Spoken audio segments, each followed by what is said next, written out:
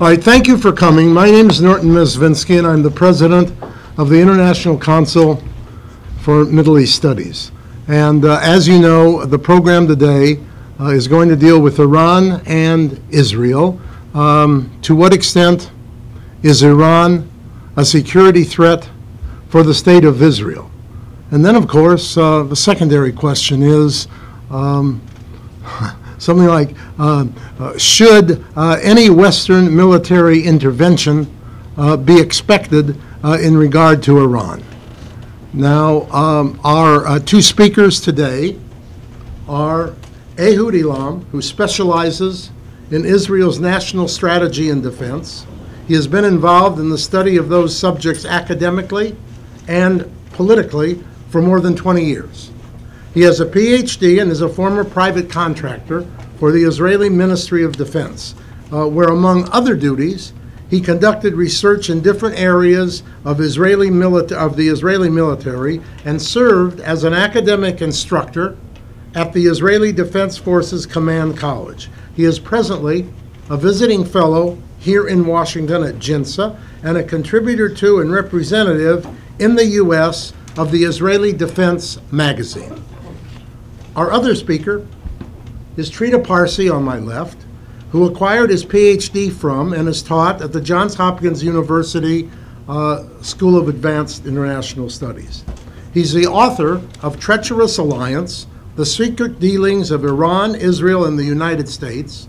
And on the basis of that book, um, he was awarded uh, the, he was awarded uh, a made two major awards for scholarly ec- excellence. He was the recipient of the Council on Foreign Relations 2008 Arthur Ross Silver Medallion Award. He was also the recipient of the Council on Foreign Relations 2010 uh, Grawemeyer Award for Ideas Improving World Order. His most recent book, A Single Roll of Dice Obama's Diplomacy with, with Iran, was uh, just recently published in 2012. Trita Parsi is additionally the president of the largest Iranian American organization in the United States, the National Iranian Council. He is frequently interviewed on television and as many of you knows, and as many of you know, cited widely in major newspapers and other publications. His articles on Iran and United States Iranian relations often appear in numerous journals and periodicals. Uh, now, uh, uh, Ehud is going to speak first. Uh, Trita will, of course, speak after Ehud, and then uh, we'll definitely have uh, a question and answer period. Um, you'll be able to make comments, but we'll try to limit comments to about one minute. But we'll get to that when we get to that. Uh, we have two um, very able speakers to speak to this most important topic. Let me say again that the International Council for Middle East Studies is more than pleased uh, to uh, have this session, which is really just part of, of the series of sessions that we have planned for this year, 2012. So now, without further, further ado, I'll turn it over to Ehud. Thank you very much, Malcolm. Thank you all for being here today. Uh, first of all, I want to make clear that what I'm saying here, it's my own uh, private uh, views, and they are not necessarily reflect the opinions of anyone or any institute, especially in Israel. Also, when I will refer to the Israeli nuclear weapons, I'm basing that on non-Israeli sources. Okay? Well, I'm going to focus about the Israeli perspective about Iran as a threat to Israel. Uh, first of all, um, what are the Israelis might think about uh, Iran as a threat? You know, there's almost uh, 6 million Jews in Israel. It means 12 million opinions in a good day. So I'm not going to cover all those opinions, but I'm going to start with the basic. First of all, the conflict, the Iranian-Israeli conflict, it's completely unnecessary because there is no real reason for dispute between those two countries. You can see they are far away, more than 1,000 miles between them. There is no disputes about lands, about water. Like, it's not like the Israelis and the Arabs, especially you can compare it if this is Iran and Israel, these are the Arabs and Israel, this is Israel and the Palestinians. They are together, they are stuck with each other, like in a very bad marriage, they are not going anywhere. But Iran and Israel are completely apart, And from the 50s to the late 70s, there was some kind of alliance between Israel and Iran. They even had all kinds of projects during the 70s. They fought even to produce a fighter together. So today it sounds ironically, but still. Um, so there is no real dispute between those two states. Um, but there is kind of an Iranian threat, at least uh, in the future, on Israel. I will start with the possible conventional threat, which right now is quite minor, because since there is such a gap between those two countries, there is no possibility of a conventional war between those two states. Um, right now, Syria is fighting, uh, the Assad regime is fighting for its life, so if it falls, Iran might uh, even lose their uh, springboard to Israel from Syria, so there will be even no possibility for Iranian to send troops to Syria to fight with Israel. So there is not, not much of a chance for a conventional showdown between Israel and Iran, as it could be between Israel and Syria, for example, and it was in the past between Israel and Arab states. It leaves us mostly with uh, air warfare. The Iranians uh, have approximately uh, 300 long-range surface-to-surface uh, Shihab-3 missiles. Those are basically the only missiles that could uh, be launched from Iran and to hit Israel. Uh, they can carry each one of them one ton of explosive or maybe also chemical warhead. Uh, but it's important to mention that Iran has only about 10 launchers for those missiles. So of course you cannot like shoot all of them in one strike. You have to shoot them every time. You have to reload the missile on the launcher and shoot it. And this is of, of course if you assume that all the launchers are operational and they will continue to be operational. And also you have to take into consideration that Israel has the Arrow missile that might intercept at least part of the Shihab-3 missiles. So as long as Iran does not have nuclear weapons, especially one that they can put on the Shihab-3, so it's not much of a threat to Israel. The, the biggest threat to Israel in that uh, perspective is, of course, the Hezbollah pro-Iranian uh, non-state organization in Lebanon, we are all familiar with. Uh, it has approximately 50,000 rockets and missiles. They, of course, could, could cause Israel much more damage and casualties. And the big question, of course, if, if there is some kind of uh, confrontation between Israel and Iran, what will the Hezbollah do? Of course, uh, there are sometimes you hear voices uh, inside Hezbollah, mostly from Nasrallah, that he might not just uh, salute and uh, obey any order from Iran to launch a war, a full-scale war against Israel. And um, we can never know in the, when the moment comes what he will actually do. Of course, uh, he knows that uh, Iran could cut his funds, but Israel could cut the Hezbollah to pieces. So it's one consideration.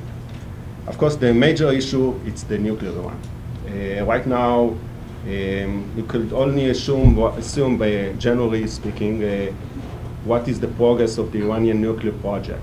And even in the future, what will be a direct threat on Israel when the Iranians uh, will have a, a, bomb or capability to produce a bomb, or they will be able to put this bomb on a long-range uh, surface-to-surface missile on a plane, or when they, when they will conduct a nuclear test. So when you actually start to say there is a nuclear threat on Israel.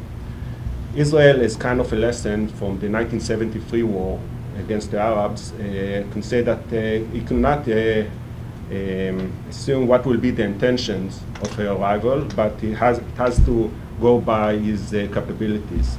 And of course, it will be especially true in, in case of a nuclear Iran. For Israel, Iran is kind of a enigma because there was, as I said, there was, no, there was never a war between Israel and Iran. There is no real uh, reason for dispute. And it's kind of uh, ridiculous in a way that Iran, that doesn't have nuclear weapons, is threatening on uh, Israel that, according to non-Israeli sources, has nuclear weapons.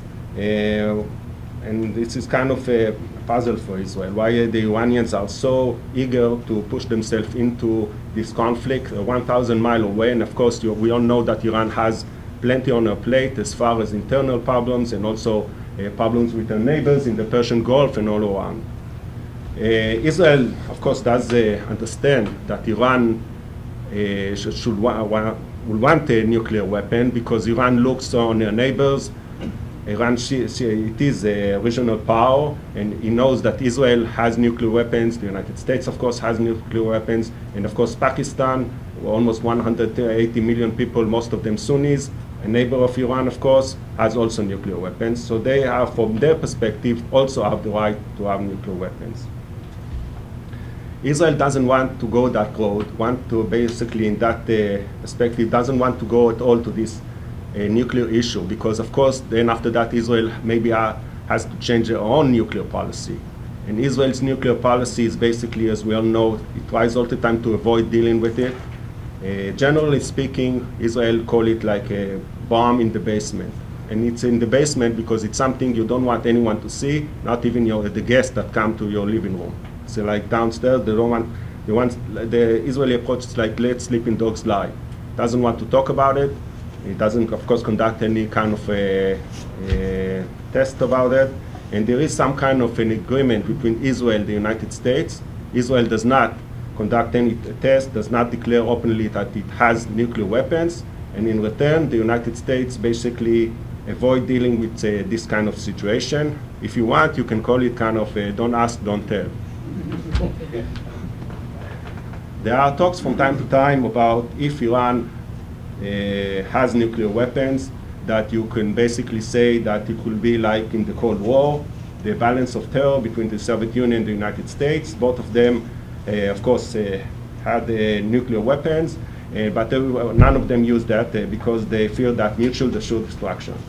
And it's, uh, you can say it, you could apply that also to the Iranian-Israeli conflict. Yes, yet you, you must take into consideration other factors. For example, uh, the distance between Israel and Iran, although there is a thousand miles between them, it's not like the Soviet Union and the United States. Therefore, the alert each side will have will be much shorter. In a nuclear age, it has uh, lots of uh, uh, importance. Also, the United States and the Soviet Union could have started a war in a conventional, it could be a conventional stage. There was the, like the Fulda Gap in Germany, where forces from each side could have confronted each other. And uh, that gave time, at least if it would have happened, of course, it would have gave time to the governments to resolve the crisis before it will escalate into a nuclear one. Since Israel and Iran, they don't have any border between them, they might immediately escalate into a nuclear uh, showdown. Another major problem, the United States and the Soviet Union had diplomatic relationships. After the Cuba Missile Crisis, they had the, hot, the hotline, the red phone. There is no such thing between Israel and Iran. They don't talk with each other at all, not directly at least. So this is a problem. Maybe the two states, eh, especially if uh, both of them will have nukes, that they might unofficially agree that will be some kind of a mediator, some country that has ties both to Israel and Iran, Egypt, Turkey, India, Russia, but still in if there will be a, a, crisis, a major crisis between Israel and Iran, it might be too late to use this kind of a system. Also, another major important uh, uh, difference between Israel, the Cold War and now, uh, if there would have been a massive attack on the United States, a nuclear attack from the Soviet Union, since the United States is quite isolated and also could have received after the attack help from our neighbors like from Canada while Israel is surrounded by Arab states that even if they don't like Iran, if there will be a massive attack, a nuclear attack on Israel, and the Israeli government and the military will not function at all, then the Arab states around her will basically close in for the kill. Because only if, if only, beside all the known aspects of the Arab-Israeli conflict, that uh, there are also strategic reasons for Egypt. It will be opportunity to get uh, the south of Israel, which will be a corridor to Jordan, and from there the rest of the Arab world, which was always was a dream for Egypt, and so on. Uh, there's also, of course, in the there will be a nuclear Iran. Then Israel and Iran will find themselves uh, examine all kinds of doomsday scenarios that um, you can mention some of them. For example, if the Iran has nukes, and then there will be a revolution in Iran, and the regime there will lose, and you will understand his leadership that they are going nowhere, they have no, nowhere to run, and so they can say we might as well take Israel with us. So they will send a, a, uh, uh, their last decision could be launching their nukes against Israel, and furthermore, they know that Israel will retaliate, but they will not, but they might not care because they, Israel will retaliate against the same people that overthrow them. So this is one aspect. Also, the, another major problem for Israel that um, if Iran gets the nukes, of course, Saudi Arabia and other Arab countries might also get it. So for Israel, militarily speaking, Saudi Arabia with nuclear weapon will be even a bigger threat than Iran because of the distance between Iran and Israel, Israel might get enough alert in case there will be a launch of a missile from Iran. But with Saudi Arabia, especially in the northwest, there is an airfield like the Tabuk airfield, which the Saudis, it gives the Saudis a springboard to attack on Israel. And also it's uh, important to mention that the Saudis have much better air force than the Iranians. They have F-15 and all that. So it gives them another possibility to basically strike Israel with a nuclear weapon in case there will be a nuclear showdown. Of course, the Saudis also don't, don't want it generally, but if they all of Iran, Israel, and Saudi Arabia will have nuclear weapons, each one of them will suspect the other. Of course, from also from Saudis, uh, the Saudi point of view, it's worth mentioning that uh, Israel and Iran are both, both of them are the, are, are the enemies of Saudi Arabia. So it will be worth the while for the Saudis to create some kind of provocation in which Israel and Iran will destroy each other. This is only one of the uh, in which a nuclear Iran will be very bad news for Iran. Also, cannot rule it out completely that Saudi Arabia will buy weapons from Pakistan and also maybe approach uh, Pakistan to deploy Pakistan units with nuclear weapons on Saudi Arabia. And the last thing I think, I think Iran needs right now is an enemy like Pakistan with, uh, as I said, 180 million people, most of them Sunnis. They have a border with Iran and they have nukes. Iran doesn't need that. Uh, also, that's about uh, Iran. Generally speaking about Israel, uh, the Israelis, for them, a threat on their existence, it's kind of, uh, I wouldn't say another day in the office, but they are used to. It's like uh, in the past, there were also all kinds of uh, doomsday scenarios, only conventional ones, that uh, stayed like that. For example, after 19, 1973 war between Israel and the Arabs, there were all kinds of scenarios in which Israel prepared itself to war against a vast Arab coalition that uh, could have included Egypt, Syria, maybe even Jordan, and Iraq never never happened. Also, from 1973 for so 1973, Israel prepared itself for a war in the Golan Heights against the Syrians in case the Syrians will try again to retake by force the Golan Heights. There was always some kind of tension, sometimes even higher, but the last almost 40 years, nothing. And such kind of a war could have started with a strike of long-range surface-to-surface missiles from Syria to the heart of Israel, even maybe with chemical warheads, and the Israelis lived with it. So they, they knew that every time, every minute, uh, theoretically, it could start, especially in the 80s when the Syria had the support of the Soviet Union. But they lived with it. It was okay. It wasn't like 10 years ago in the second Intifada when there was we, I wouldn't say fear all around, but the Israelis every time they went for to the bus or to a restaurant or to the mall and they saw they saw the security guard that checked the bags of everyone, so that in order to make sure that they are not uh, suicide bombers, this was much closer. They saw it all around, so they still go on go, went on with their uh, uh, regular life, but it was much more uh, obvious that there is side effect.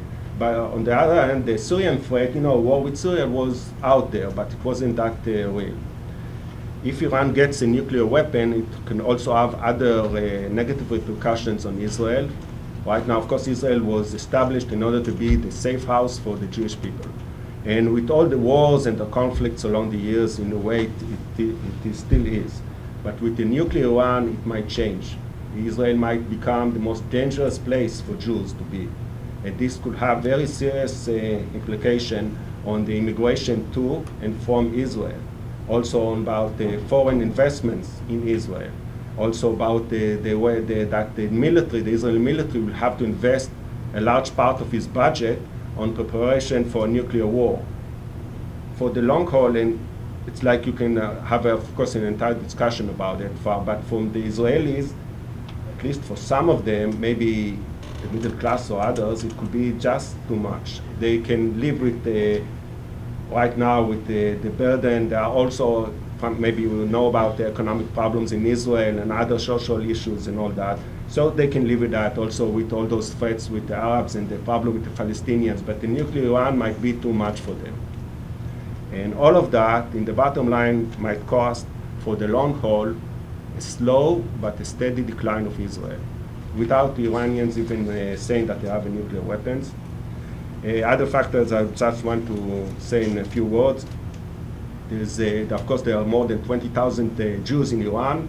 Israel has to take that into consideration in case of an attack on Iran, especially in a nuclear showdown. Some of them might be, get hurt from the Israeli bombs, and after, after that, there might be reprisal against them by the Iranians.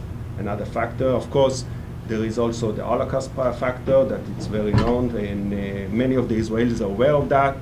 Uh, I wouldn't say especially, but like uh, what you call the Ashkenaz Jews, that their families came from Europe, like the one uh, that uh, the families of Benjamin Netanyahu, the Prime Minister, the Minister of Defense Ehud Barak, and many people of the elite in Israel, uh, in politics, military, and so on, and of course many of the ordinary Israelis, like my entire family. Um, Overall, the, you can sum it up uh, what the Israelis could do. Israelis could basically start some kind of preventive war against Iran, like they did in 1956 against Egypt. And one of the reasons there was the military buildup of the Egyptian military. Then it was conventional military buildup. Now it could be because of the Iranian nuclear project. Israel could wait until the last moment if there will be some kind of a crisis between Israel and Iran and then launch some kind of preventive, uh, some uh, preemptive strike, like in 1967. But of course, it will be much more dangerous in a nuclear age. Israel could also do nothing. In 1973 war, Israel uh, figured, out, figured out before the war that uh, if they will launch an airstrike against the Arab militaries, it might help her uh, in the beginning of the war. But mostly because they uh, did not fear, but they did not want to, I would say annoy, it, but they did not want uh, that uh, to disrupt the relationship between Israel and the United States, so they did not do it. Maybe you can do some kind of a comparison to now also, because there is, as we know, some kind of uh, pressure, you can argue about that, from the United States on Israel not to do anything. So basically, Israel right now will do, probably will wait um, and we'll see if the sanction could work, if the overall pressure on Iran will work. If not, they will consider the military option, and if they assume the military option will do more harm than good, they might just leave it and continue to prepare to the possibility of a nuclear Iran with all the repercussions I mentioned. Thank you very much. Thank you, Ehud. Trita? Thank you. Thank you so much. Uh, delight to be here. Thank you, Ehud. I think that was a very sober analysis. I, I want to commend you also because I, I found it to be um, very much based on a logic that I think is widely acceptable. Uh, and it's actually quite different from uh, some of the perhaps more politically motivated um, comments that um, one hears at times. Uh, and I think this is, this is very helpful because it's, it's well beyond time that we have a rational conversation about something of this importance. And, and I want to commend you for that. I think uh, there's a couple of things you said in the beginning, so I'm going to change my uh, presentation a little bit to address those because I think they're a fantastic starting point for a good conversation.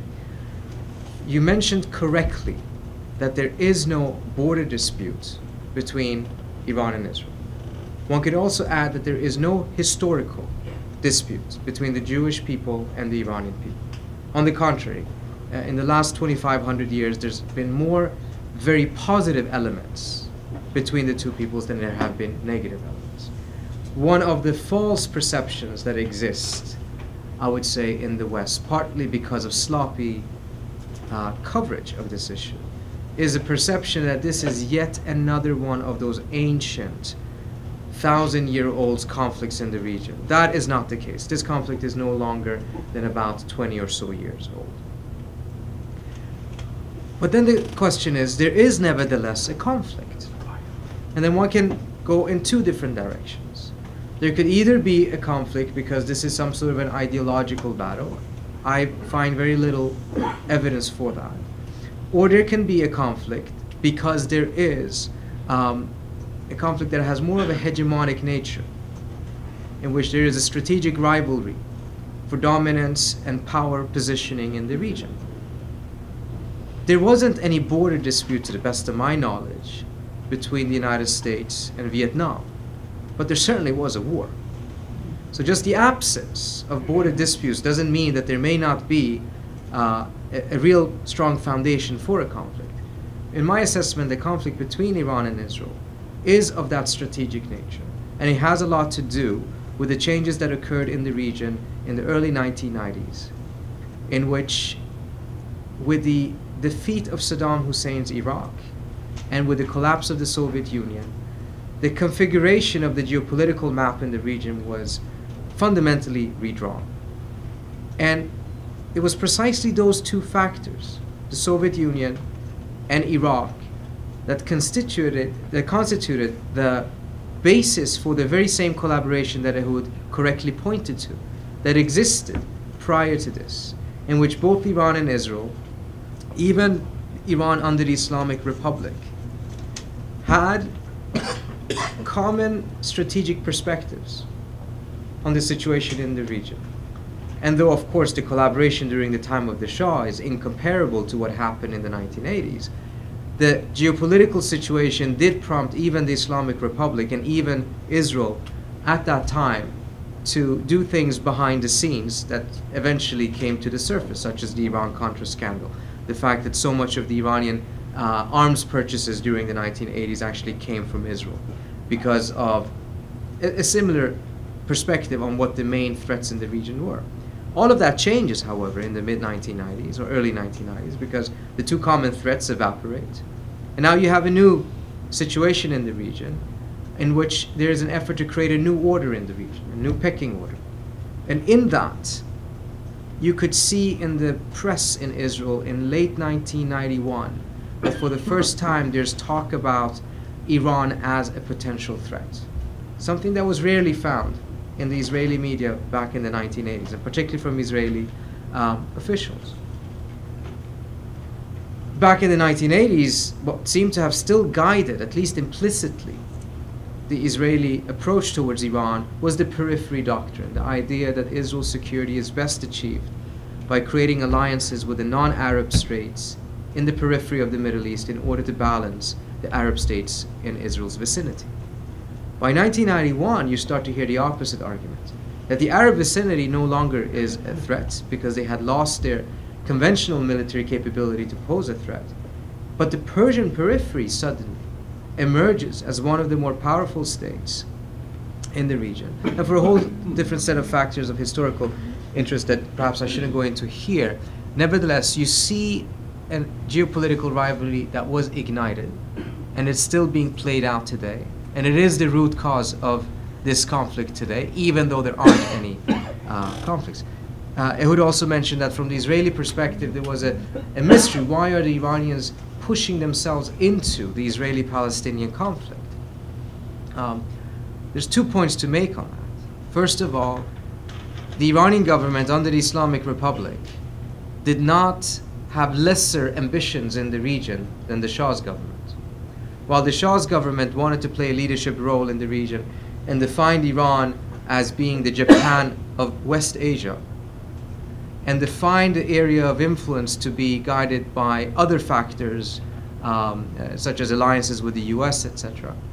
The Islamic Republic was seeking to have leadership in an Islamic world, in which obviously the immediate Middle Eastern uh, neighborhood was critical.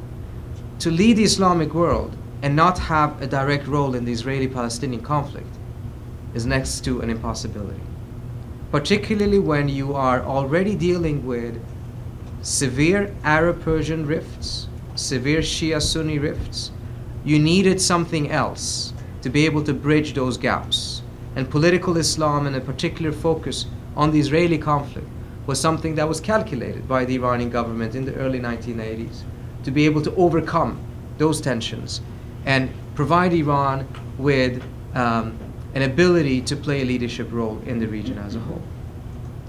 The second point is that the Iranians are asking a similar question.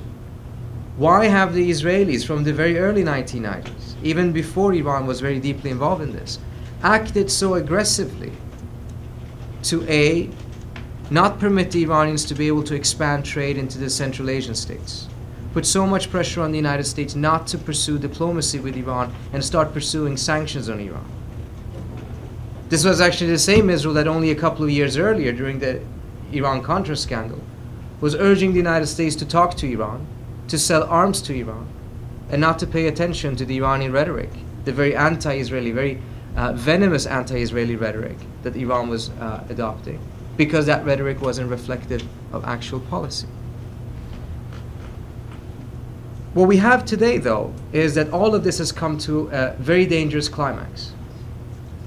I think it uh, spelled out a whole set of various scenarios and why uh, a nuclear weapon in Iran would be quite a negative thing, not just for Israel, but for a large part of the region as a whole. I would argue that would also be a tremendously negative thing for Iran. But the issue right now is actually not whether Iran gets nuclear weapons or not. The real issue is whether Iran will have a nuclear capability, whether it will have an enrichment program. That's a very different red line. And that is the red line that currently is being fought over in a rather public fight between the Israeli government and the Obama administration, in which the Obama administration's red line, not articulated by Obama administration political officials, but articulated by the Obama administration's military officials, have been that the red line is that Iran should not be able to acquire a nuclear weapon. That is the red line. The Israeli red line is similar to the red line of the Bush administration which was that Iran should not be able to have enrichment, zero enrichment, because that would give them the capability to build a nuclear weapon at some point. Those are two fundamentally different red lines. In fact, if the red line is capability, arguably, Iran has already gone way beyond that, and we should technically be at war.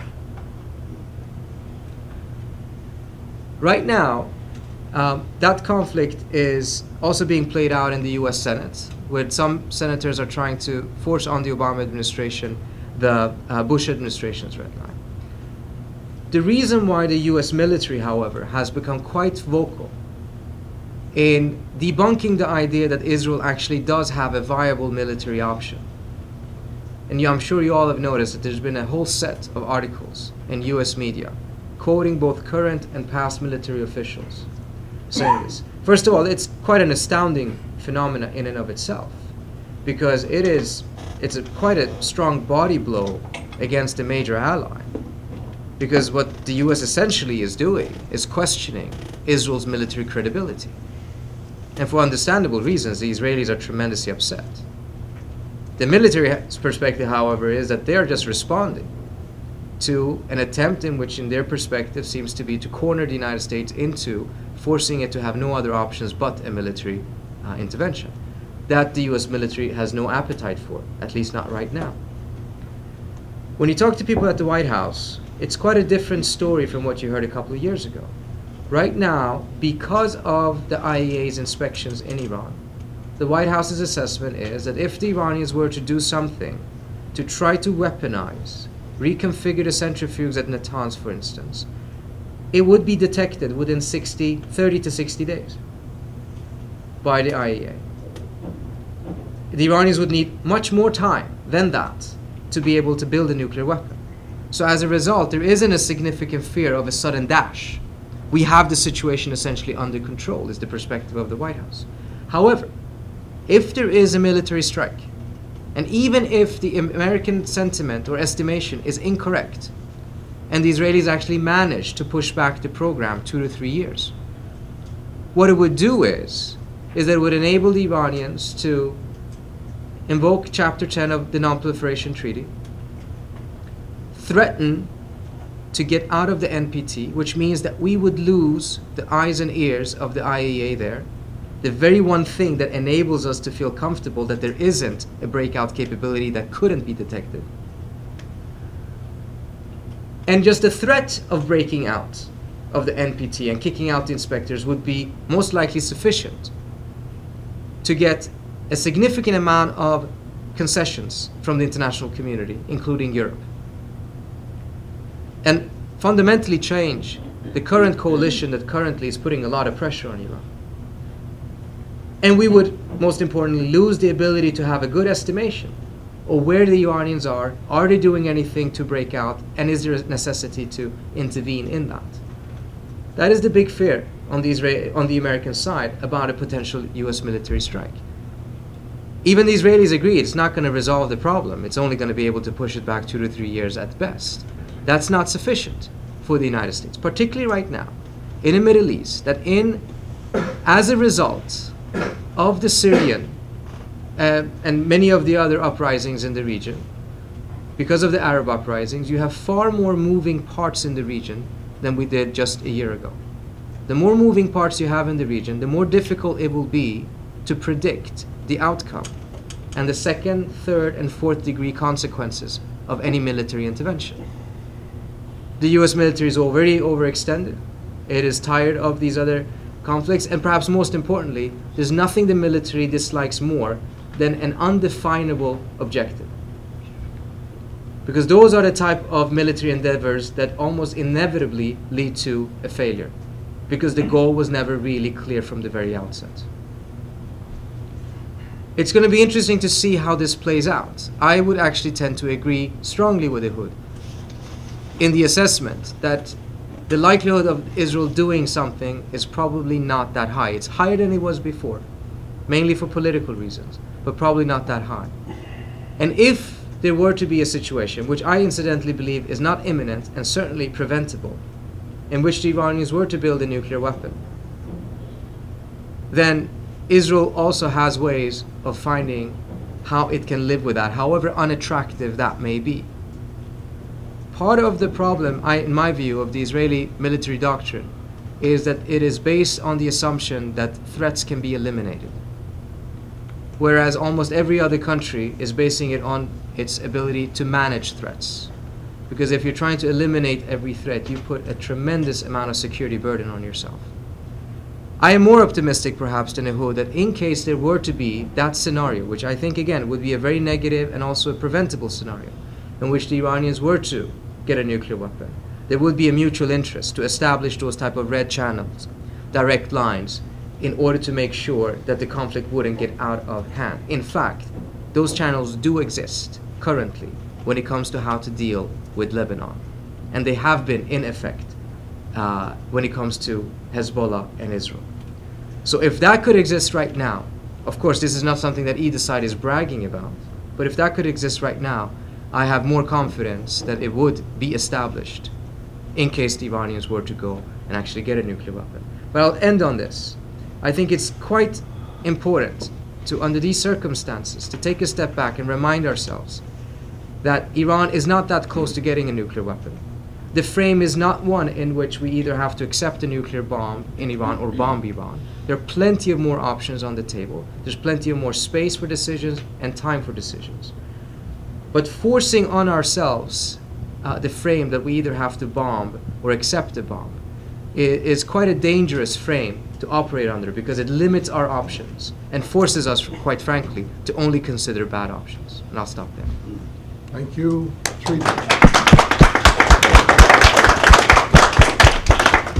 All right, now it's your turn. Uh, Questions? Yes, back there. We have a microphone, and Wendy will bring it around to you. Yeah, take your jacket off. It's hot. Yeah, it is hot. Uh, Phil Giraldi. Um, I personally don't believe there's any evidence at all that Iran is building a nuclear weapon. I think the CIA supports that view and also Israeli intelligence.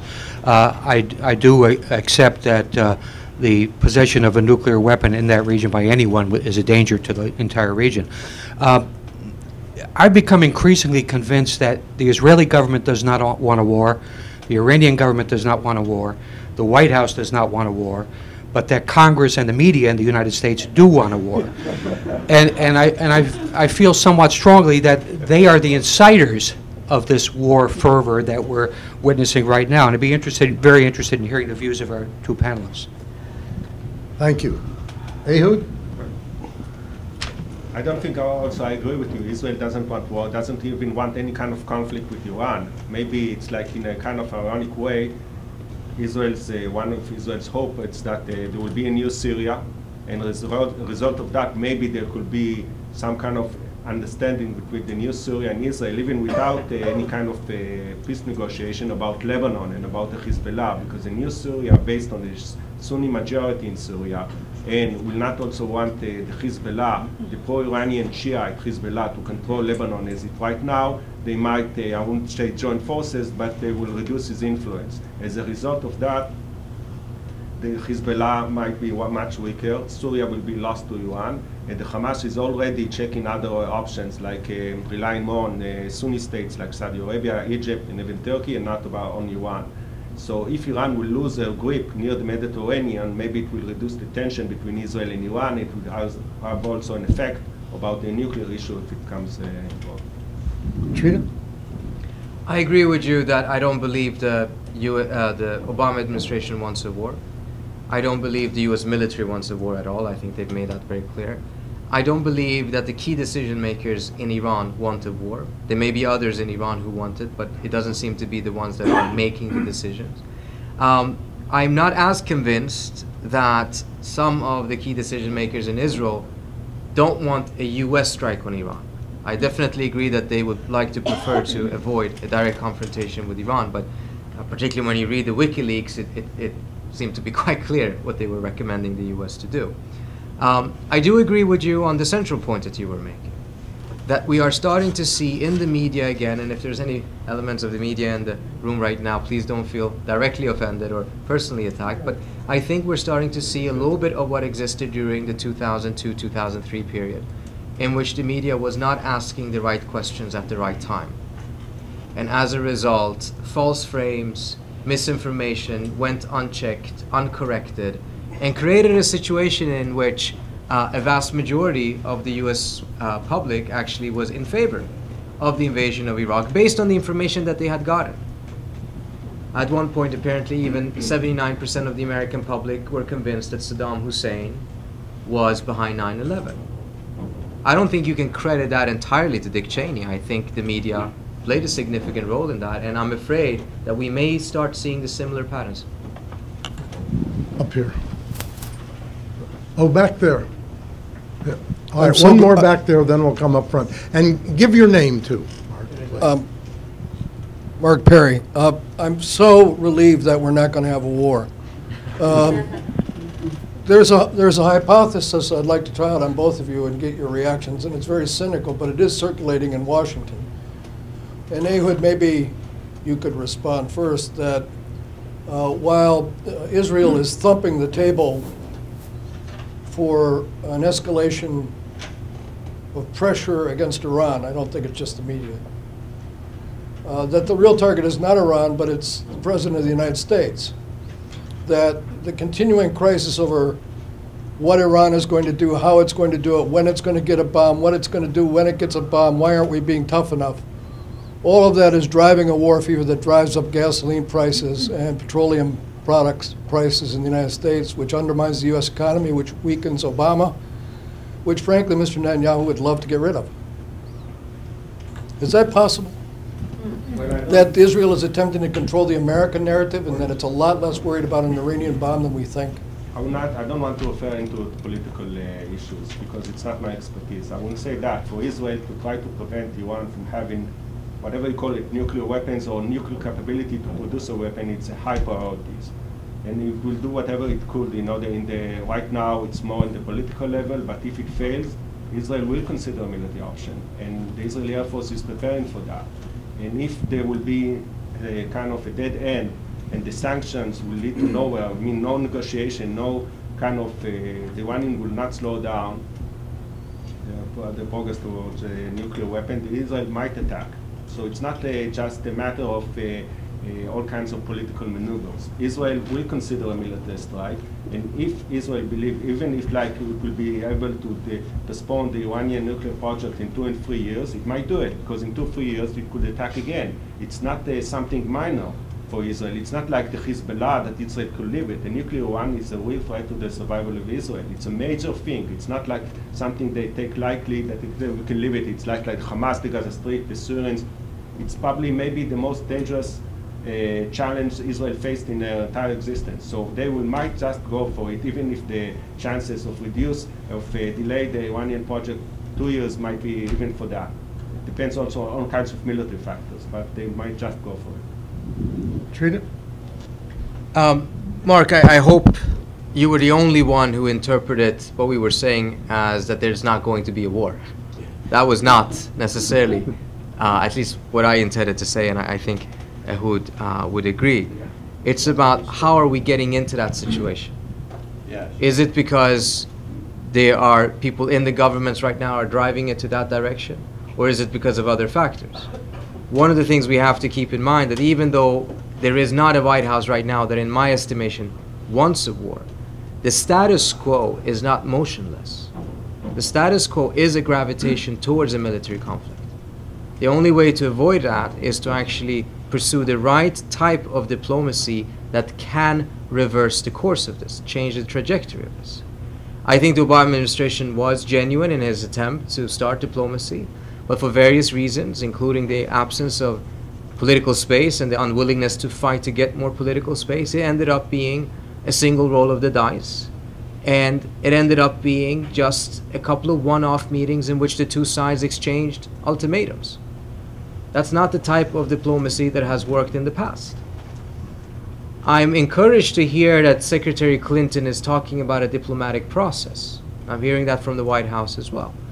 I hope that means an effort not to come to the table and get everyone to come to the table, but an effort to stay at the table. Meaning that we will have setbacks at the negotiating table, but we can't give up at the first setback, which is exactly what we did in October 2009. If that process is put in place, I think there is a chance of being able to prevent this. But if we continue to go like this and there's no real effort to change the trajectory, then we're going to get closer and closer to the edge. And while one can say that this looks, sounds perhaps a bit naive, and, and, and certainly is, uh, if one takes a look at it from the perspective that the stakes are probably higher now than any time before, but the flexibility of the various sides seems to be at its lowest for various reasons, including past experiences in the just last two years, but also because of the fact that there is a presidential election in the United States. It doesn't add to a pretty picture. We'll come up here and then here, up here.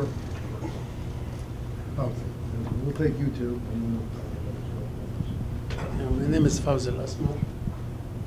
Uh, Yes, but maybe there are no borders between Israel and, and Iran, but definitely there is a conflict. Uh, If you look at, at the whole, uh, whole picture of the Middle East and you, and uh, we have to think why there is a conflict in the Middle East and where Iran will stand. Iran, I agree with you, is looking to be uh, or to hold a leadership on, on, on the Muslim uh, world. There's a conflict.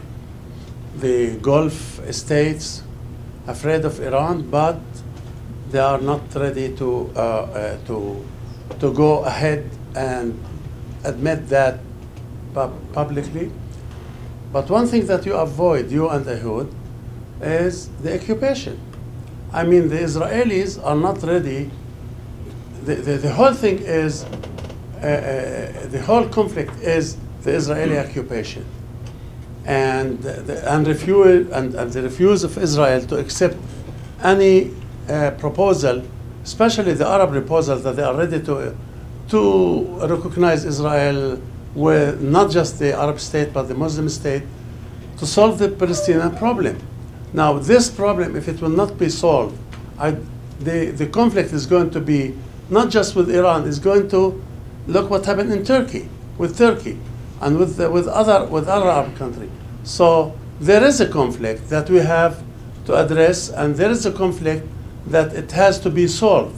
Otherwise, uh, uh, the, the, the whole thing will continue. Yes, Iran is worried about, uh, about what, what Israel is doing, is worried about itself, you know, to, to protect herself, not just from Israel, from, uh, from other countries.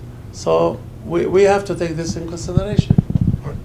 Trita, you want to go first? Sure. Um, I agree with you in the sense that the continuation of the um, Israeli-Palestinian conflict, the continuation of the occupation, is creating um, a lot of openings for many different elements to take advantage of that conflict. And it's starting to have repercussions well beyond just Israelis and the Palestinians. And I also agree with you that obviously it would be quite desirable and quite valuable to end that conflict as quickly as possible in a just way. But I would caution you to be careful in thinking that if that conflict is resolved, that some way somehow would resolve the Israeli-Iranian conflict. I don't think it will. It will make it perhaps more difficult to uh, exploit the Israeli-Palestinian conflict as part of that larger rivalry. But the ri- rivalry was not started because of the occupation, nor will it end because of the occupation. it is a rivalry that is taking advantage of the occupation. Almost every conflict in the region has now an added component of how the U.S. and Israel, on one hand, are taking it are taking a side within that specific conflict against Iran, or furthermore with the Saudis and others. You have an uprising beginning in, uh, in Syria, and now it's turned into a geopolitical battle. It didn't start like that, it started like an uprising.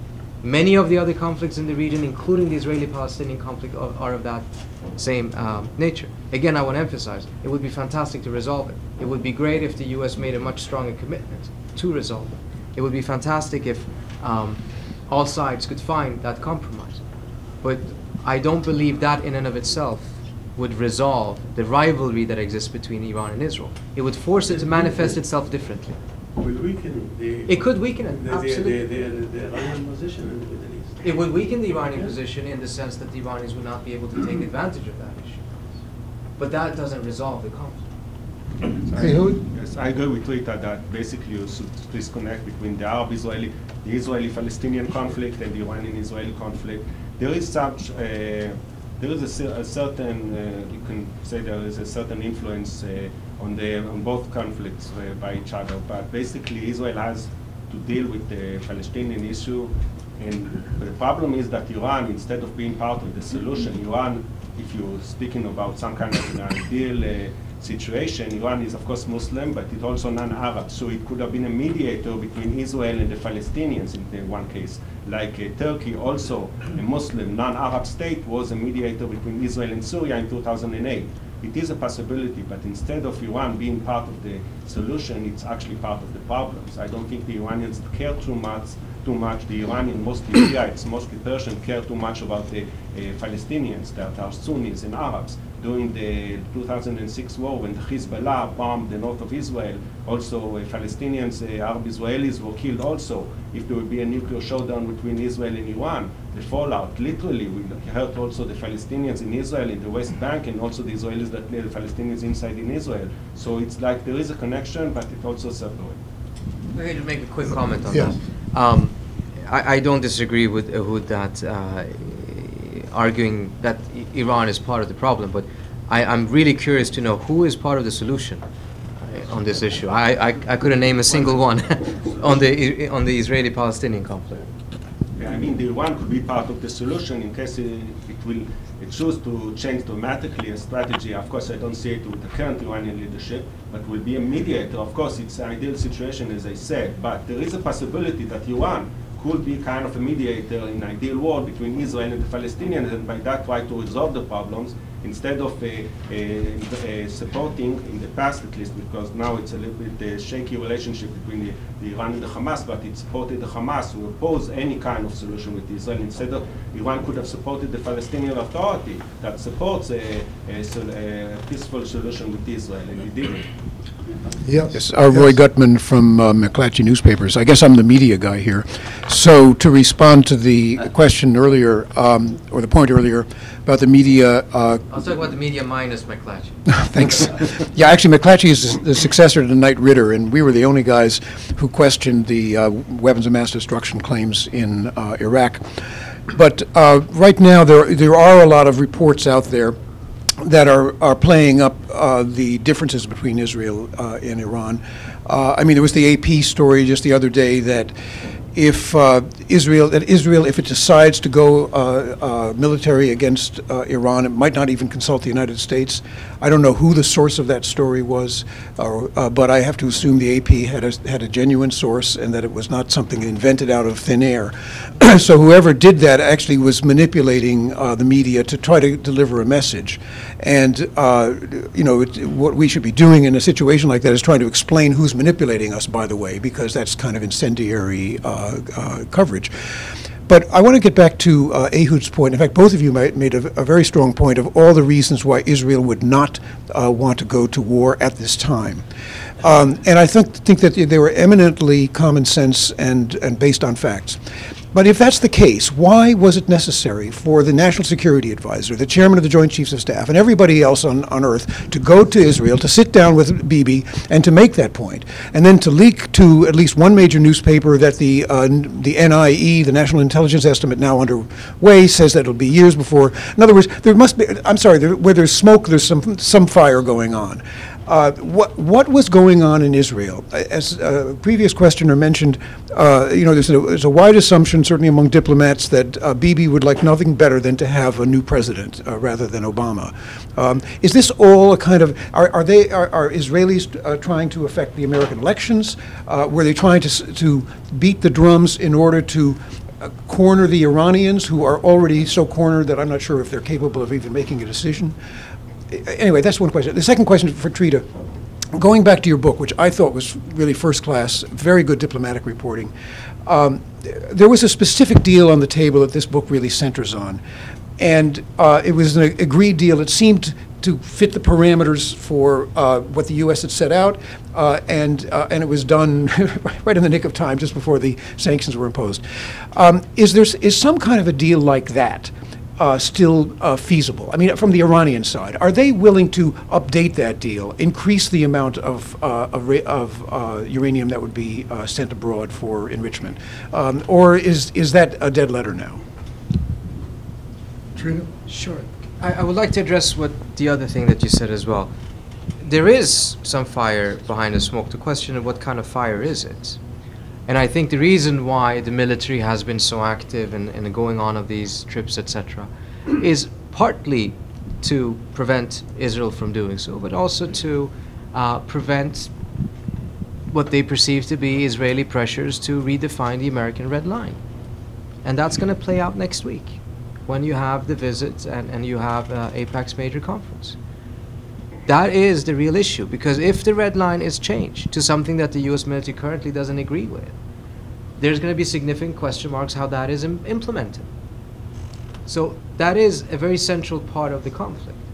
Um, there is, of course, also the, the perception that this is used as a bluff to pressure the U.S. to do things that it otherwise doesn't want to do. Now, on the issue of the Brazilian-Turkish deal, this goes back. It's very important to keep in mind. This was an American proposal.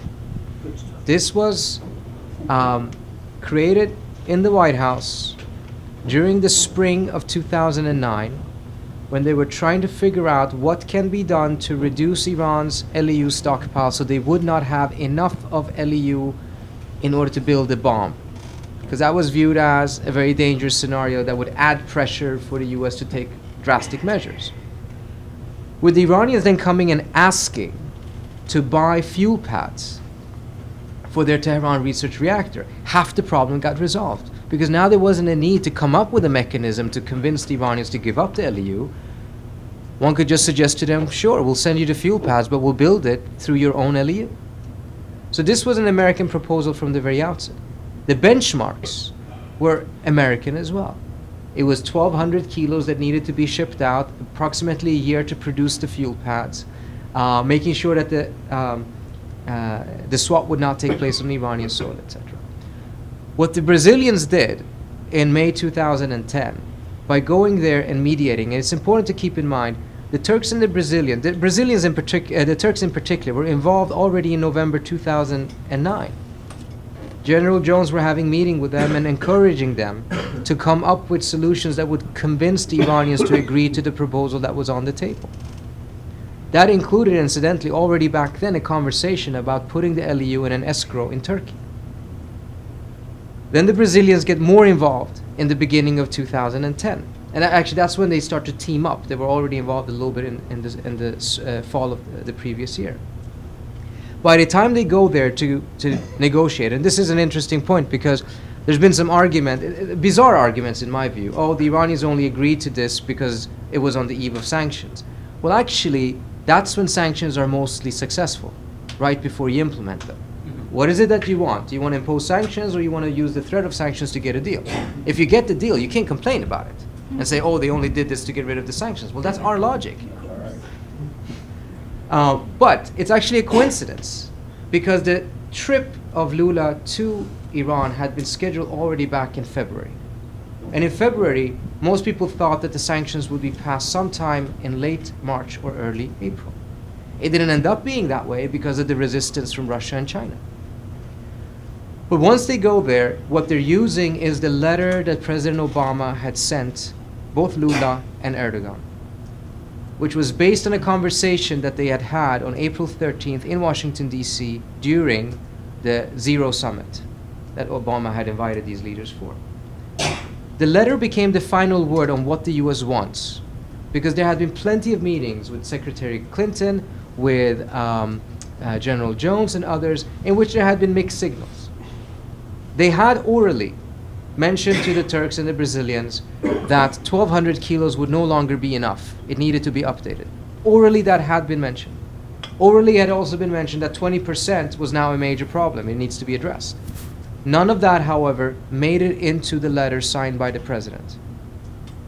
And the Turks and the Brazilians, because of the mixed signals, treated the letter of the president with his signature as the final word of the US government on this issue, which I don't think we can blame them for. It's a letter, and anyone who's worked in the US government that knows that getting a letter signed by the president is not an easy project. It goes through a lot of different uh, uh, filters. But what the Brazilians didn't know, of course, was that the U.S. had already received an approval from, Tur- from Russia and China on the Friday before the Saturday or Sunday when Lula arrived in Tehran. The sanctions had already been okayed by Russia and China. So when they're negotiating and they managed to get the, U- the Iranians to agree to the benchmarks in the letter that were built on the benchmarks from the previous deal, um, they did not know that essentially the US and Russia and China had already come to an agreement on the sanctions. They find out about that when Amorim, the Brazilian foreign minister, calls Secretary Clinton to brief her on the deal. Um, so it shows a very sad situation in which, because of the domestic political scene in the US, because of the upcoming midterm elections in Congress, the US government actually essentially run out of political space to be able to say yes to the nuclear breakthrough and instead said yes to sanctions. And they did so partly because if they had gone with the nuclear deal, Congress would have gone forward with their own sanctions anyways. And those sanctions would have targeted Russia and China. And that would have created a conflict in the Security Council. And that would have been taken advantage of by the Iranians. And the entire international consensus against Iran that Obama had carefully manufactured would have fallen apart. The question is why wasn't there enough of a political will or capital to tell Congress, we just got a deal? There's no need for you to pass the sanctions. But the White House's estimation was that they would not win that battle, so they didn't even try to fight it.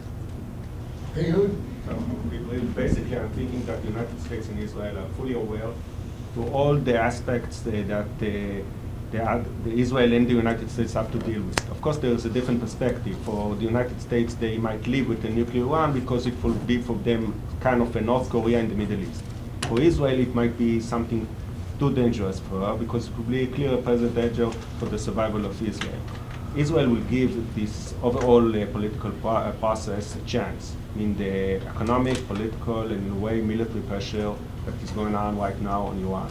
If in a matter of weeks, months, Israel will see that they are going nowhere and the Iranians are continuing their, uh, with their nuclear project, and there are also other military factors that you have to take into consideration. I, I believe I have no personal knowledge right now, but the Israelis are probably working on improving their bombs and their techniques and tactics, because the main problem, military speaking, is not to reach Iran by whatever you, however you go, although it's a long distance, and also to overcome the Iranian air defense and the Iranian air force, are, which are quite obsolete, but to basically penetrate the layers of concrete and rocks sometimes that above the facilities. If Israel assumes that they have some kind of a solution, maybe not perfect, but in Israel, like with Iron Dome, proved that in the past, that when there is an emergency, they can develop pretty fast a military solution. Maybe it will not work, but since it's uh, such a critical uh, subject, if they will see that the political process is going nowhere, they might just go ahead.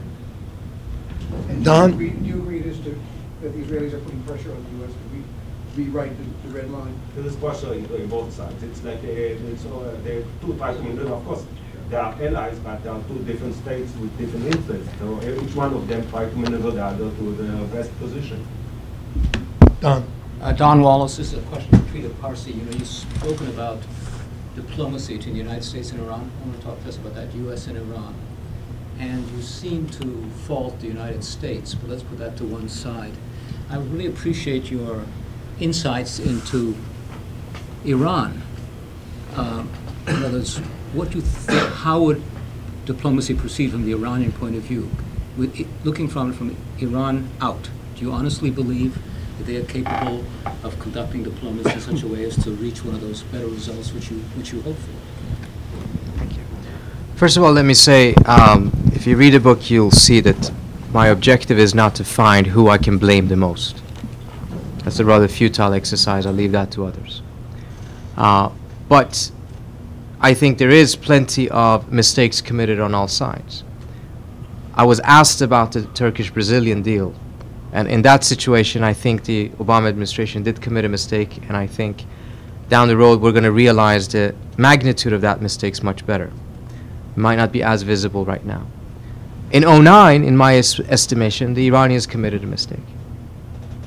Certainly, they had their reasons, and some of them are not completely illegitimate, just as much as the U.S.'s reasons to not go for the deal because of the fear of what Congress would do is not illegitimate. But nevertheless, I think it was a mistake. But at the because at the end of the day, you have to make the tough decisions. Are the Iranians capable of negotiating that way? It's difficult to tell. In 09, clearly they were not. The real reason why the deal broke down was not because of their objections about um, the lack of guarantees, although I think they were genuine about them. Uh, I think it is understandable that they were wondering why they should let their strategic assets be in the hands of the West for a full year before they get their fuel pads back, mindful of how much they mistrust the West. I don't think that is uh, um, something they just made up. But I don't think it was what, at the end of the day, killed the deal. It was the difficulty for the Iranian elite to come to an agreement on anything because of the continuation of the infighting. And the administration was aware of this. And it was a risk that they committed, that they took when they decided to pursue diplomacy at that time. The president at one point said that they would pursue diplomacy once the dust had settled. But it wasn't clear if the dust had settled or not, referring to all the infighting in Iran. Um, what I think the administration has tried to do, and I'm not so sure it's the most wise thing for them to do, is that they really try to ratchet things up to the extent that they will really drive this issue to a climax in the hope that under those circumstances, Khamenei will be forced to make decisions that they otherwise believe he would try to evade. That's part of the effort of trying to recreate the, the impression that there is a credible military threat, all of these sanctions, etc., etc. It's a very risky thing to do because we have no control over how the Iranians read or misread a situation. But I think it's important to keep one thing in mind. In the various cases that the US has succeeded in negotiating and gotten a deal, of, in a conflict that is as deep and as emotional as this one is, it's usually taken about four years, not two meetings in October. Four years for the US and Vietnam to normalize relations between 1990 and 1994 over the course of two presidents. Another six years to get a full trade agreement. Exactly seven years to get Gaddafi to agree to give up his nuclear weapons. 700 or so days for uh, Senator Mitchell to get the Good Friday Agreement. And in none of those cases did the deal get accepted because it was flawless, because it was perfect, because the other side didn't cheat, because they didn't play for time. Of course they did. And so did we. It succeeded because we had the political will to overcome the imperfections of the deal because of recognition and realization that however imperfect the deal was, it was better than the alternative, which in the case of Iran increasingly looks like a military confrontation. That level of political will is necessary both on the Iranian and the US side, and I would put a question mark as to whether either the US or Iran, current leaderships, have that level of political will. I think they have the desire, but I'm not convinced if they have the political will on either side. Just, just, just the same question. 20, 2012, not 2009. Today, and just looking at Iran, not looking at the U.S., looking at it from the point of view of Iran, you think, and you've maybe answered it, that they have the you know, desire for, I don't know, do they have the internal arrangements to conduct successful diplomacy, even if it takes four years? I think it's a proposition worth testing. At the end of the day, it's something that we don't seem to register. Why did Turkey and Brazil succeed? If it is so impossible for them to negotiate, why did the Turks and the Brazilian manage to do it? I think we would be wise to study how they did it and see what we can learn. But even if we do, we may still fail because what the situation was back then may be different what it is right now. But if we are trying to wait for the perfect time, I'm pretty convinced that perfect time will never emerge. But it's, it's a fair question. It is difficult. And incidentally, the Iranians are asking themselves the exact same question Who's making the decisions in the United States? Is it Congress or is it the president? Does the president have the strength to be able to override Congress if they're creating problems? They're asking the same questions. We're going to take two more questions. It would be nice to have one from a lady. Okay, um, Okay, I'm uh, Diane Perlman, School for Conflict Analysis and Resolution at George Mason.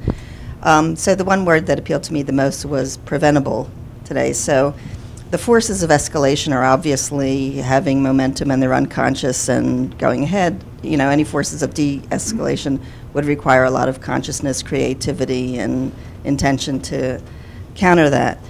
So, um, and also the, um, the idea of second order change. You know, everything's about pressure, coercion, and it- it's, um, there's no good end game to that, I think. And the idea would be to reduce tension, to reduce enmity. So I just have some different thoughts. And I'm also starting to explore with my colleagues. And the next four days, I'll be with uh, Mediators Beyond Borders in Baltimore. Then after that, I'll be at AIPAC as press. Um, and also, I got an email from Morton Deutsch, who's at the School Conflict um, Resolution in uh, Columbia. He said that, you know, one thing is that we think of Iran as incorrigible, if we could think of them as corrigible, and that, you know, that sort of gripped by the perceptions. Also, you know, AIPAC is going to be doing their, their thing um, on sanctions, also as treated, as you often say, and some people that sanction, there's false belief in sanctions that they will work. Um, and also, what about, um, you know, I'm talking with my colleagues at Mediators Beyond Borders about possibly doing something. Also, what about educating Congress, doing some briefing on the conflict analysis and conflict dynamics? Let's have, we need the All right, question. okay, well, just, so you know, what do you think about, you know, uh, ways of reducing, and also, did the Oscars have any effect, influence on the field? The Oscar. The Oscar, too. Basically, I think the overall pressure on Iran might be good because, in a way, they need to escalate, kind of an escalation in the political process might push Iran to decide if it wants to go ahead with the nuclear process program or maybe slow it down. And this could, in a way, maybe could delay or even prevent an Israeli attack. Or have the opposite effect? Yes, of course. It's either way. It could be uh, a two-edged sword. It's a risk. Uh, Trita, do you want to say anything to this? I'm, I'm okay. We can go to the next question. All right, well, I've got a lot of people here, some are who are friends, but I promised this man. Uh, Trita's leaving at 5:30, so is Ehud, and so am I. Okay, all right. But Hi. go ahead, and I'll take maybe one more after this. My name is- So I don't alienate all, everybody out here. My name is Hassan. I was born in Tehran. By looking at the map, as we looking at Iran and Israel, and uh, as big as Iran is, and the population of 75 million people, 60% under 30 years, very smart people, very friendly with the West, and they are able to protect our interests in that area with no cost. But the cost of our interests being protected by Israel every day becomes more and more. So there is a rift in America. How far can we support our friend in Israel, even when we hear that they want to do something without even letting us know, and we support them all the time? Well, uh, Israel is not threatening to cut up, uh, to block the Hormuz Straits and all that, and I don't think the United States right now, in the seventies, Iran was an ally of the United States and all kind of an ally of Israel. If you can go back to the seventies, I think Israel will be happy, so the United States, so is many of the Iranian people. But right now, Iran is kind of a problem. And with all the issues the United States has with Israel, Israel is uh, close and uh, has been an ally for the United States for many years, and Iran, it's not exactly an ally in the last few decades. Trita? Um, can I answer that? I, I think that there, there's a value in what you're saying that we have to have a longer term perspective. Uh, we have seen what happens when we are not taking into consideration the viewpoints of the populations in the region, when we're not taking consideration um, the hearts and minds of the populations. And in the case of the Arab world, the United States is fighting, um, at least during the Bush administration, rather unsuccessfully to gain hearts and minds. In Iran, as you pointed out, there isn't amongst the population a very strong anti American sentiment. There is certainly a lot of criticism against the US foreign policy, but it doesn't root itself as it does in the rest of the region in a manifestation that is anti American culture, anti American people, anti American values. That I think could unfortunately change in a very dramatic way if we don't think through our decisions very carefully and we go for very short sighted solutions, um, such as going in militarily. Because I don't foresee there being much more of a reservoir of American soft power in the region in case of a military confrontation between the two countries. All right, we're going to take one more question. We're happy for all of the others who would like to ask them, but we'll take one more back there. Yeah, hi, Jeff Steinberg. The, uh, the statements that have come out of people like General Dempsey, uh, Defense Secretary Panetta, a whole array of American military strategists is not just simply some kind of soft anti-war sentiment, but uh, very clearly this whole potential conflict has been gamed out very thoroughly. And my understanding is that in the vast majority of outcomes that have been considered, this does not uh, stay as a limited war simply involving Iran. There are many, many other dimensions to this, including the fact that U.S. relations with both Russia and China have been badly damaged over Libya, Syria, and um, so I think the U.S. military and clearly many people inside the Israeli institution see the danger of this becoming something much larger. You know, when, when, when Archduke Ferdinand was assassinated, the headlines did not read the next day, World War I starts. These things don't start as obvious. So I'd like to get both of your comments on uh, some of the catastrophic consequences, both economic because of the oil issue, as well as the potential for this becoming a much, much bigger war. Of course, the main question is what is worse? That Iran has the nukes and maybe Israel could it, even the United States, kind of a mutual assured destruction between Israel and Iran, and maybe Iran will not use it as people believe uh, that it will be. But uh, of course, it's if there will be a nuclear, nuclear war between Israel and Iran, it will be, I think, worse than any kind of scenario right now if there will be an Israeli attack on Iran or an American attack on Iran, since only, only because it will be a conventional showdown. And I always think, of course, Iran could unleash all those uh, sleeper cells and proxies and missiles against Israel, and all, whole hell will break loose. Of course, it will be terrible, and also the implication on the oil market and all that.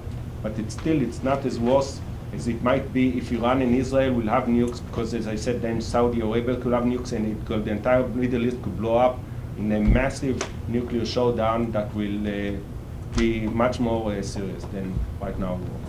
Trita? I, I respectfully disagree with Ehud on that framing because it essentially says let's have a massive war now so we won't have a massive war later. Um, it, it, doesn't make sense to me. I think we're not there. No, it's two bad options. I don't, Yeah. It's not like a support. I just say there, from Israel point of view, there is last resort in the United States. If they think that there is no way to stop Iran from having a nuclear weapon, then the choices of Iran having a nuclear weapon or not, and risking a, a war, then maybe sometimes there's no. But the key word there is last resort. The key word there is last resort. We're not even close to anything of last resort. I mean, I said it in a previous setting. Um, Iran has a very impressive and mighty arsenal of zero nuclear weapons. we need to remind ourselves of that when we're talking about these things because they're not there. Right now, the White House does not fear a breakout because of the IAEA's eyes and ears at the various sites, etc. So we're not close to that type of uh, doomsday decision making. And that's where the problem with the current debate is. Why are we assuming that we are in a much worse situation than we are? Because at that point, we're going to make much more drastic decisions. Right now, we don't have to make those decisions. We can make much wiser decisions. We can expand the decision making space. We can reduce the hysteria and give ourselves the ability to actually resolve this rather than have to face two bad options, as you mentioned. Thank you all for coming, and let's thank Ehud Eilam and Trita Parsi. Thanks, Peter. Thank you. Thank you.